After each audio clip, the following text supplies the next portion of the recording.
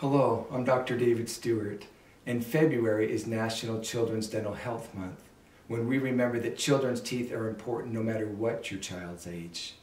Primary or baby teeth are important for a child's oral development and need to be cared for by an adult as soon as they erupt into the mouth. Dental exams and dental care should happen for all children, and this care should begin by one year of age or by the eruption of your child's first tooth, because that is when dental decay first begins. I invite you to be involved in the care of your child's teeth each day and to take them for an exam by a dental provider so that you can learn how to care for your child's specific dental needs. Have a wonderful Children's Dental Health Month.